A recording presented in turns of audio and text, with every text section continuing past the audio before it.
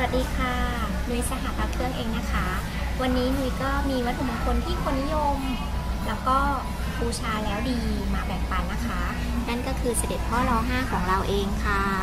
อันนี้ก็คือจะพร้อมเลี่ยมแล้วนะคะ เป็นกันน้ำอย่างดีนะคะ หมุนได้ด้วยนะคะ ข้างหน้าแล้วก็ข้างหลังนะคะ สวยงามมากค่ะ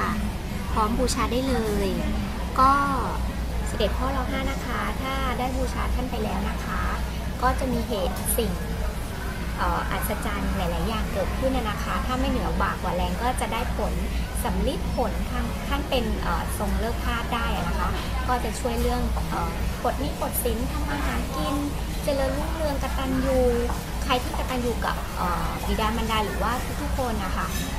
ที่ที่เราเขาเรียกว่ามีความกตัญญูนะคะ เราก็จะเจริญรุ่งเรืองในหน้าที่การงานในชีวิตหลาย ๆ อย่าง หรือแม้กระทั่งพ่อค้าแม่ขายนะคะ หรือทำงานธุรกิจอะไรที่เกี่ยวกับค้าขายอะค่ะ ก็จะประสบความสำเร็จนะคะ เพราะว่า